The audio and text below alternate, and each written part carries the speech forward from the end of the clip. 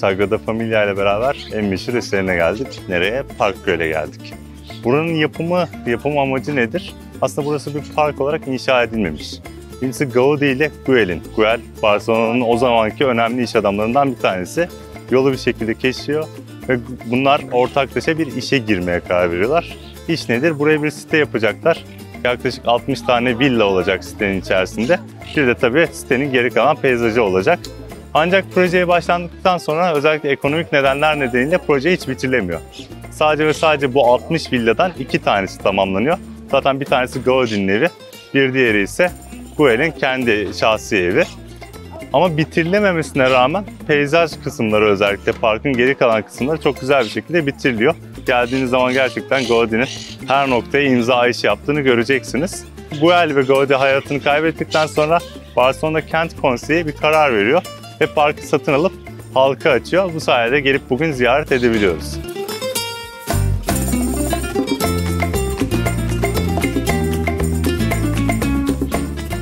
Park içerisinde toprak yollar var her tarafta. Toprak yolların etrafında da yanlarında daha doğrusu böyle küreler var. Bu kürelerin de iki tane nedeni var. Bir tanesi Roma döneminde de yolların kenarına özellikle yolu belirlemek amacıyla küreler bırakılırmış. Oraya gönderme. Bir de gene dindar oluşuyla alakalı Gaudi'nin. Dindar olduğu için aslında bu toplardan, kürelerden bir tesbih yapmış. Tesbih nerede bitiyor? En yukarıdaki haçlarda.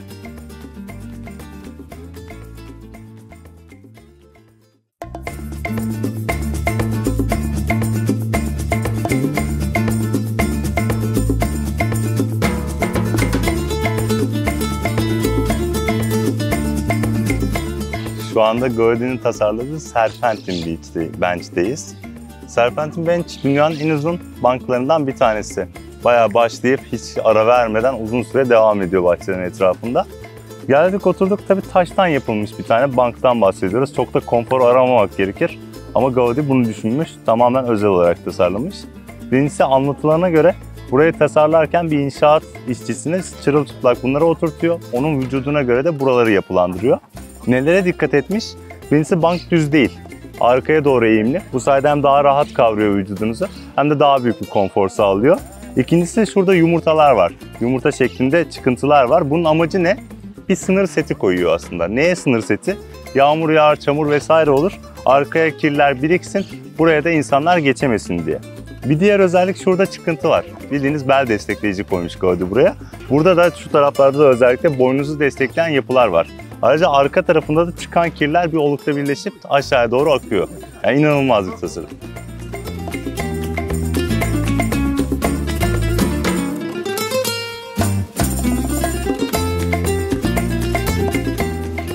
Barcelona'nın ve Park Güell'in ünlü semenderinin önündeyiz.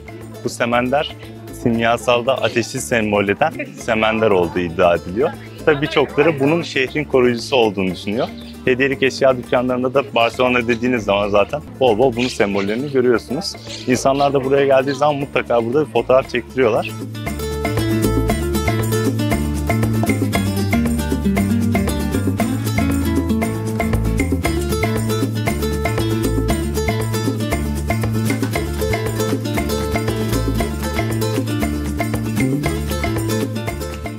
Gaudi Katalan milliyetçisi bir adam. Katalonya'nın sembollerinden bir tanesi de gördüğümüz yılan. Bunu da burada bolca kullanmış.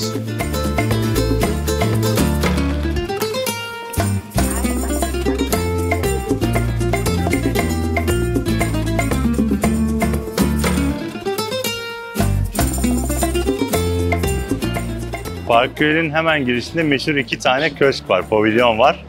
Bunlardan bir tanesi vakti zamanında bekleme odası olarak tasarlanmış. Şu anda ise hediyelik eşyalar satılıyor. Bir diğeri ise güvenlik kulübesi. Aslında bildiğiniz bekçi kulübesi olarak tasarlanmış. Şu an içinde ufak bir müze var. Park Göl'e ve Barcelona'ya dair videoların oynatıldı. Orayı da ziyaret edebilirsiniz. Görsele geldiğimiz zaman Gaudi burayı tasarlarken Hansel ve Gretel hikayesinden etkilenmiş. Hakikaten şekerden yapılmış gibi duruyorlar. Bu arada son bir bilgi, uzaktan baktığınız zaman bu iki binanın birleşimi bir fili andırıyor.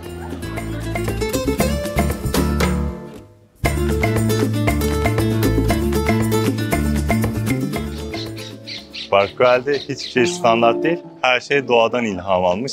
Patikalar nehirler gibi kuruluyor. Arkada gördüğünüz patikayı destekleyen kolonlarsa ağaç kabuğunu andırıyor. Tabii her zaman olduğu gibi gene canlı müzik.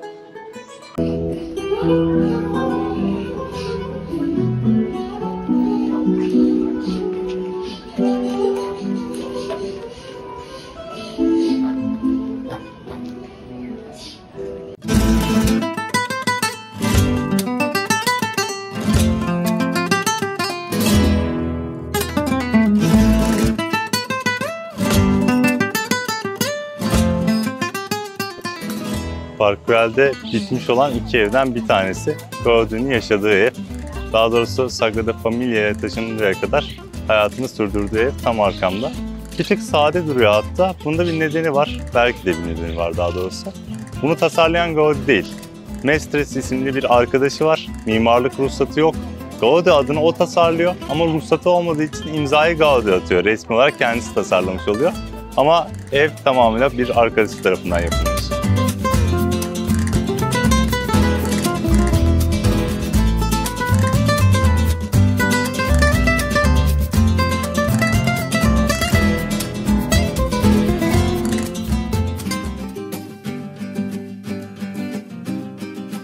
Şu anda Passaic de Gracia Caddesi'ndeyiz. Bu cadde ünlü. Neden ünlü? Özellikle tekstilden sonra Barcelonalılar zenginleştiği zaman zenginler mimari bir yarışa giriyorlar. Ünlü mimarlarla anlaşarak birbirinden güzel evler yaptırıyorlar bu caddeye. Bu evlerden bir tanesi tabii ki Gaudi'nin eseri arkamdaki Casa Mia. Casa Mia'yı Mila çifti yaptırtıyor ünlü zenginlerinden Barcelona. İlk katta kendileri oturacak, diğer katları ise daire olarak kiraya vereceklerdir. Ama inşası biraz zorlu oluyor. Hem bütçe açtığı için hem de Gaudi'nin bir inadından dolayı, inat nedir? Çatıya 4 metrelik bir Meryem heykeli yaptırmak ister. Bu inattan dolayı aileyle, Milalarla Gaudi'nin arası açılır. Hatta davalık bile olurlar. Ama ortaya çıkan eser oldukça güzel. Dış yüzeyine baktığınız zaman tabii ki her zaman gibi gene köşe yok. Köşesiz bir yapı. Dışı dalgalı bir denize benziyor. Hatta üzerinde yosunlar bile var.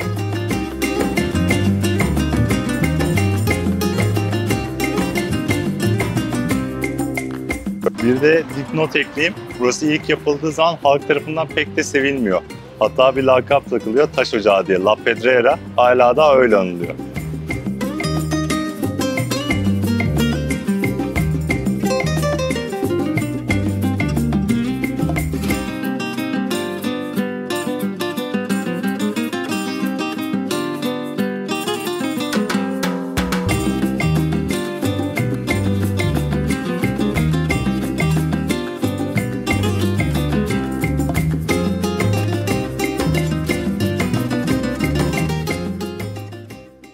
Casa Badio, iş adamı Badio tarafından Gaudi'ye yaptırılmış bir eser. Binaya baktığınız zaman Arnavut'un en güzel örneklerinden bir tanesi tartışmasız. Dış yüzeyine baktığınız zaman renkli mozaiklerle süslenmiş. Balkonlara bakarsanız kuru kafa şeklinde korkuluklar var. Kolonlara dikkat ettiğiniz zaman ise birer kemik görüyorsunuz. Hatta halk bu yüzden kemikli ev diye adlandırıyor burayı. Yukarıya doğru çıktığınız zaman birinci katta özellikle bu Hobbit filmindeki Hobbit evlerinin girişi gibi orayı andıran yapılar var. Binanın çatısı ise Katalanların efsanesi var St. George. St. George'un yendiği bir ejderha olduğunu inanılıyor. O ejderhanın derisini yansıtacak şekilde yapılmış. Hatta içerideki merdivenler de ejderhanın omurgasına benziyor. Kapanışı hiç düşünmedim ya. Bana göre Gaudi'nin en renkli, en güzel eserlerinden bir tanesi olan Sagrada Familia'nın ardından gelen bu eserde şu anda müze girip ziyaret edebiliyorsunuz.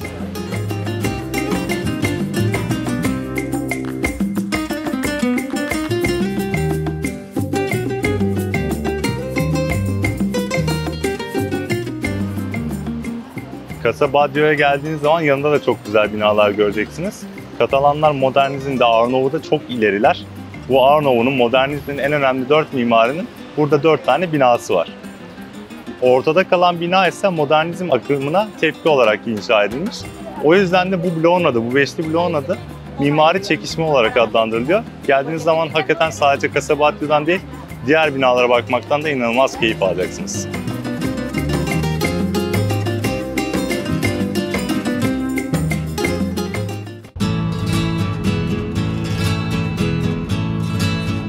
La Rambla Caddesi'nin hemen bitiminde denize doğru yaklaşırken Kristof Kolomb heykelini göreceksiniz. Şu arkamda gördüğünüz heykel. Daha doğrusu anıt. E, bu anıtın içinde bu arada bir asansör var. O asansörle ücreti mukabilinde tabii yukarıya çıkıp buradaki manzarayı da izleyebiliyor musunuz? Anıtta Kolomb bir elinde bir parma, parşömen tutuyor. Diğer elinde ise Amerika'yı işaret ediyor.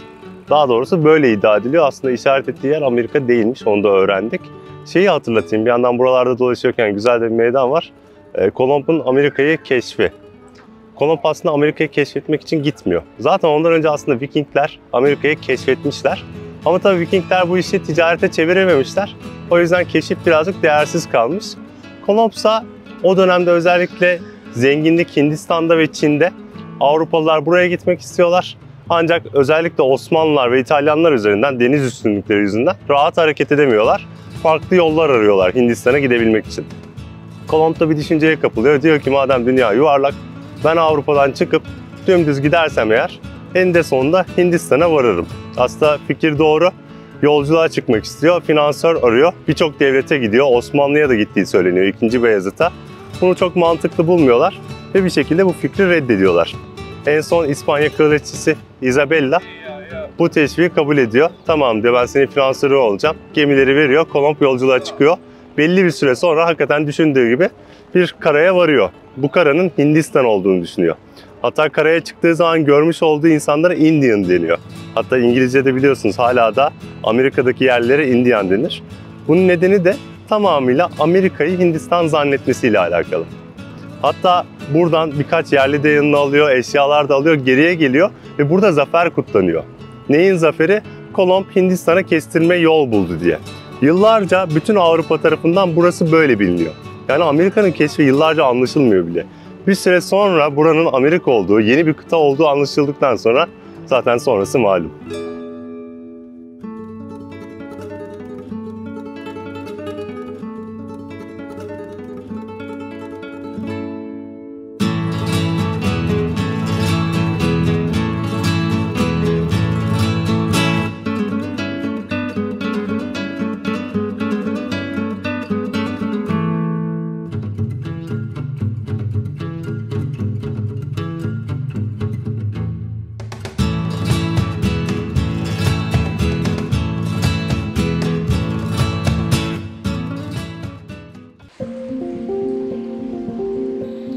Avrupa'nın birçok kentine gittiğimiz zaman İkinci Dünya Savaşı sırasında Yahudilere nasıl zulmedildiğinden bahsediyoruz.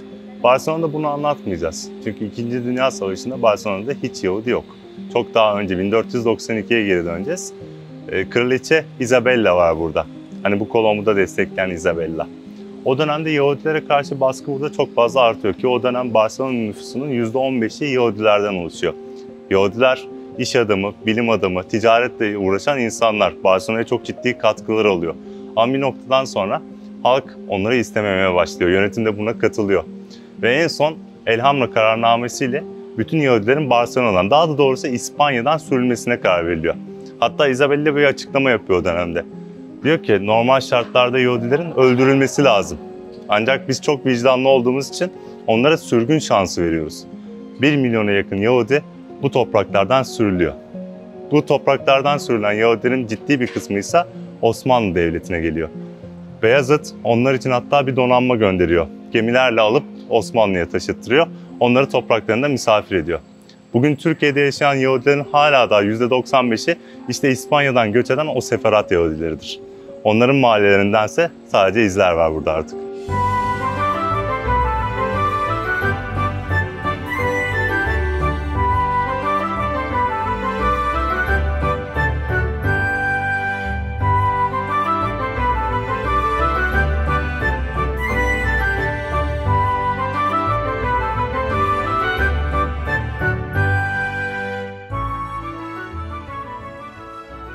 Eğer ki ihtişamlı bina görmek isterseniz de Katalonya Müzik Sarayı'nda muhakkak uğrayın. İnanılmaz ihtişamlı bir yapı.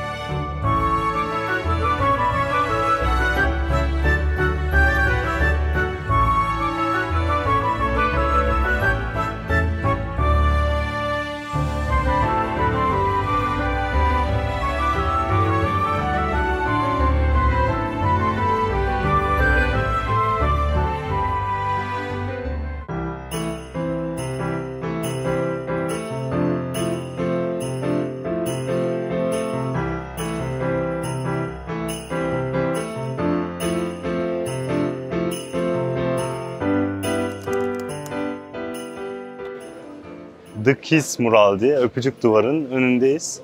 E, nedir? Juan Fontcuberta isimli bir sanatçı yapıyor burayı. Olay da şu, e, her yıl 11 Eylül'de Katalanlar için Özgürlük Bayramı. Özgürlük Bayramı diyorum ama aslında bir zaferin yıl dönümü değil bu. Tam tersi İspanyollara karşı hükümetlerini, egemenliklerini kaybettikleri yılın yıl dönümü. 300. yılında da bu sanatçı özel bir etkinlik yapmak istiyor. Ee, Bir yerel gazeteye ilan veriyor ve diyor ki halka, Katalan halkına size özgürlüğü anımsatan özel fotoğraflarınızı benimle paylaşın. Burada 4000 tane fotoğraf paylaşılıyor. O da bunları birleştirip bir öpücüğün ortaya çıkacağı bir duvar resmi ortaya koyuyor.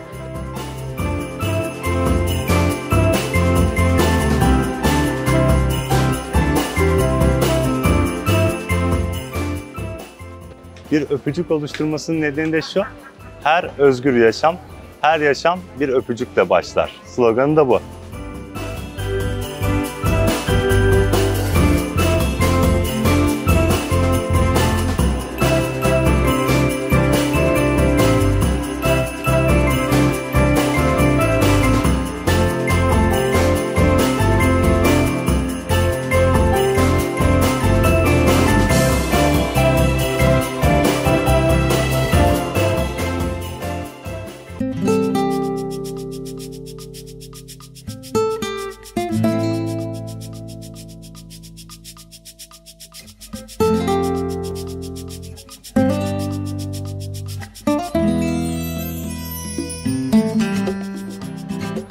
Barcelona'ya yakın mesafede olan gidip görebileceğiniz birçok kasaba var. Bunlardan bir tanesi Sitges. Sitges bir aslında yazlık kasaba diyebilirim. Özellikle son dönemde Ibiza gibi, Saint-Tropez gibi popüler olmaya başlamış. O yüzden de birazcık fiyatlar da pahalılaşmaya başlamış. Yılın 365 gününün 300'ünde güneş alıyormuş. Bugün sanıyorum onlardan bir tanesi değil. Çok fazla gezilecek tarihi bir yer yok ama evleri çok güzel. Yazlıklar her biri başlı başına böyle gidip oturup uzun uzun izleyebileceğiniz konutlar gerçekten. Denizi nasıl derseniz birincisi 17 tane plajı varmış. Bunlardan bir tanesi de arkamda. Tabii yazın ne kadar kalabalık olur bilmiyorum. Ben Ekim ayında geldim. Ekim ayında keyifle gezebileceğiniz bir yer. Tabii Ekim ayında farklı bir olay da var buranın. Burada bir tane fantastik film festivali yapılıyormuş. Hatta biz kaçırdık dün gelseydik yakalayacaktık. Bir de zombi yürüyüşü yapılıyormuş. Tamamıyla buna uygun bir şekilde korku konseptli müzeler, korku konseptli kafelerle donatılıyor. Ekim ayında gelirseniz şanslısınız. Bir de zannediyorum Şubat ve Mart aylarında da şehrin kendi özel festivali varmış. Ona da dahil olabilirsiniz.